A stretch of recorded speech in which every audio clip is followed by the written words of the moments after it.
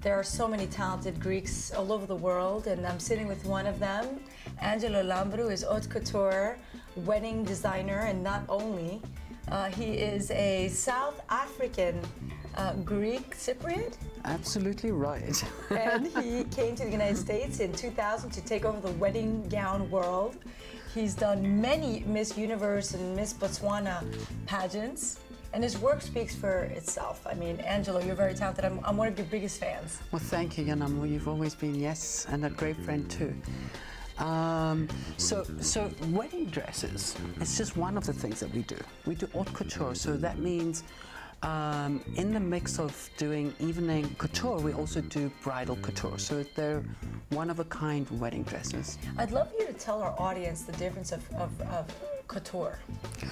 Define okay, couture. so couture. I mean, couture is, is a word that everybody throws here and there, and it's kind of like They're using it too its much, value. and that's why I want to explain to people what really, what is couture? What is couture? It's an art.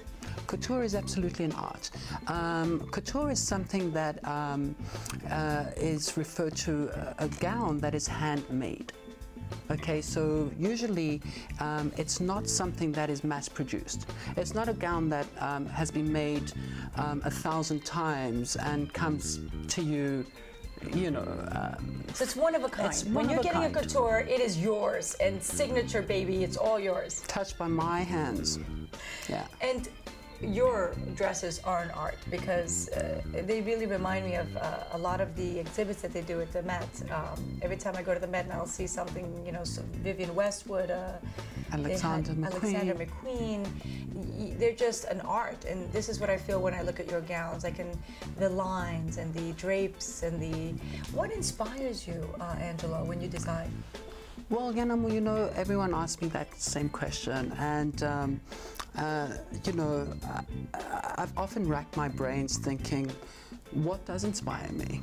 You know, I'm not one to take off and sit on the Tibetan mountains getting inspiration. You know, um, so my inspiration really is derived by women. My, my customers, you know, who am I dressing and how do I want this woman to look like? And ultimately, it's that woman who inspires me. That is amazing. And life, of course. Yes. And I notice you use a lot of different colors and not that really bright white when you, you design uh, and use fabric. Uh, your textiles are exquisite. They're silks. They're not very bulky. Tell me about where do you find your textiles? Well, look, all of our textiles are, are, are natural silks, okay? I insist on using um, only natural fibers. Um, and uh, they're all derived from Europe. They're all Italian or French um, uh, silks. Um, and I only use the best laces out of France. So I do believe that, you know, um, in order to achieve the best quality in an outfit, you have to use the best um, ingredients. Yes. In my case, that being fabric. And uh, growing up, where did you study and who were your idols as a designer? All right, so my first idol was my father. Okay, not a designer, um, but um, just his work ethic and just the, the inspiration, you know, that he gave me as a child. And that um, What line of work was your dad in? my father did civil engineering, Oh. which is construction in a different way. You know, um, I construct dresses, he constructed buildings. Absolutely. Similarities, but not quite the same. yes, of course not. So you got your work ethic from your father. got my work ethic from my father. So, um, you know, I'm a first generation South African. I was born in, in, in Southern Africa. So, um, just to cut it all short, because it's, it's a complicated life. I've been everywhere and lived everywhere. But I was born in Zimbabwe, lived in Botswana, and South Africa. So those are all three countries that are in southern Africa. And then, of course, I, I did my teenage years in, in Cyprus. Oh, I see. And you went to uh, School of Design? Yeah, I did School of Design. Uh, I finished high school um, i- in uh, 1989. That was Cyprus. Went back to South Africa and did fashion. And that's where I learned the core and the, the, the, the most of what I needed, the basic um, uh, uh, sort of foundations of, of fashion. When did you know you wanted to, to design clothes? Um, actually quite later in life. Um, up until I was about 14, 15, I always thought I was going to do architecture. And that was very well liked amongst the family, you know. Um, but then it soon changed.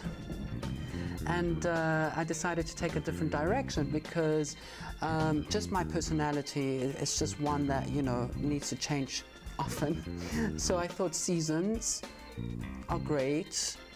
Um, fashion changes with seasons, so perhaps fashion. Like I, I was really in search of trying to find a, a way to use my talent uh, in, in a way that sort of gave me satisfaction. And you found that through through uh, uh, fashion dresses and uh, Dresses. yeah, dresses. Because I notice it's it's always even your pret-a-porter line. I remember, or was it Yes. nightwear? Yeah, evening cocktail has always sort of been my my um, uh, my Signature, strength yeah. and my s- signature. So um, uh, you know, I have uh, you know I like attention for detail. Um, it's difficult to sort of um, reproduce something that you've given birth to in many. Do, do you know what I'm saying? Yes, of course. Well, Um, you're you're you're painting on someone's body with fabric. That's it. Yeah. And that's what haute couture is. That's what couture is. It's really, it's one of a kind. And that's where I find most of my, my strengths lie really in, in constructing one of a kind type uh, dresses. It's almost like a canvas where I, I, I, I have the person in mind, I have my fabrics and my colors, and I, I just drape hours into the morning. As a as a uh, South African, how do you find life in America? How do you find fashion? How different are the people here and the Greeks? Well, look, um, obviously New York is an uh, is an amazing city. This is one place I've always wanted to be because it's a platform for any artist to to come and um, learn, grow, improve, become so much better than. Um, uh, than what they thought, you know. So really, it carves you to be the best because you've got no choice, and um, that It was keeps you going. That's true. New York is it, definitely a it keeps you going. Yeah, It keeps you on your feet. yeah, if you're not two steps ahead, well, you're gone. You know the saying, it'll chew you up and spit you out in no time. if you can make it here, you can make it anywhere. That's exactly what brought me here. Frankie's song. It, uh, There you have it. yeah. Frank Sinatra. So um, New York has been a very inspiring place because one, it, it, it forces you to find who you really are because it's, it's in search of. Um, because of the fact that there's so much of everything, you really need to find who you really are. What is true to you? Um, in order to really take on that next step. Because the sky is the limit here, and um, quite honestly, for anybody who's traveled across the planet, you know, um, you'd want to see yourself improve and be better, and that's the purpose of being here. So um, it's a constant search to, to become a better person, um, do what you do at your very best. And um, I find New Yorkers have had such a great role because they're um, they've been there. You know, all successful New Yorkers know that they've had It to. It is the world of fashion. It's a world of. It's the beginning of really. Well, I I don't know. I mean, Milan and Paris, as far as fashion is concerned, I think they kind of. They kind of set the, the, the, the road for, They really do. I mean, um, for the rest of the world when it comes to fashion. absolutely. I mean, you know, But New Yorkers take it and then they wear it and make it their own. New Yorkers embrace it in a different way. You know, they accept something new um, with more, with a, a grander sort of open arms scale, exactly. So, um, and, and, and that's why the opportunities are so much more vibrant here than they are perhaps in Paris or, or Milan, you know. So, do you like the life here more than uh, abroad? Um, you know, I, I love life here because it keeps me going.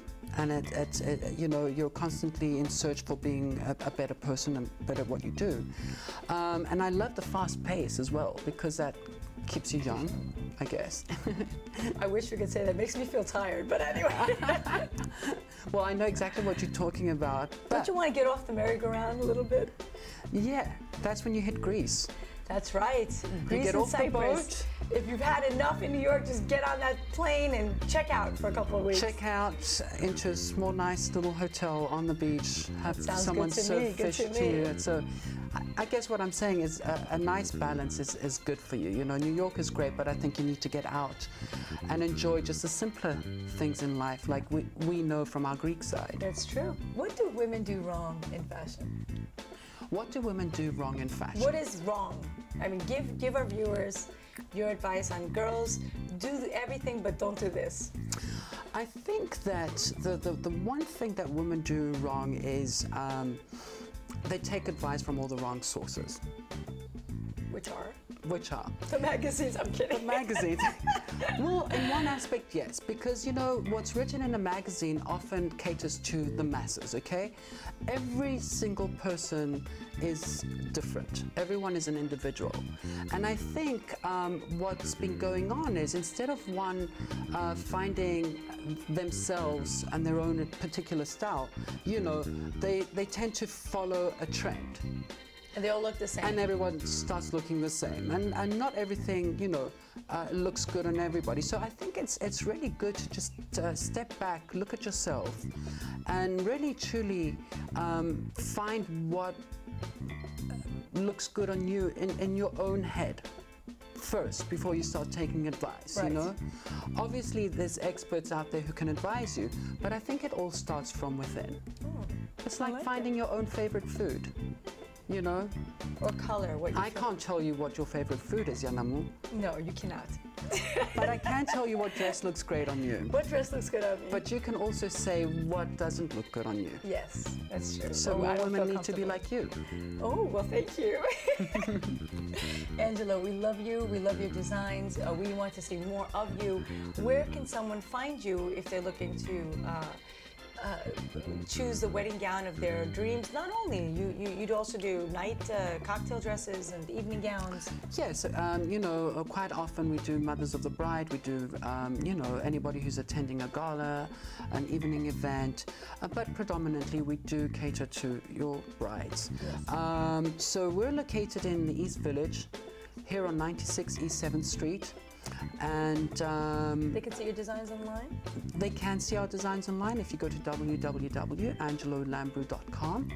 They'll get a flavor of what I'm all about. Good. And um, there are uh, there is a, another boutique uh, where you can find my things. Um, and that's at Gabriella's, also here in Manhattan.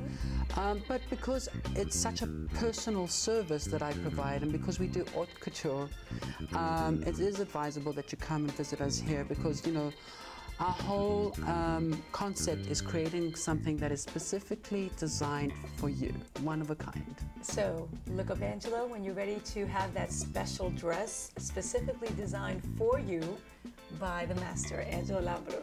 Angelo, thank you for having us. We wish you lots of luck and more gowns to come. Thank you, Yanna. Always a pleasure.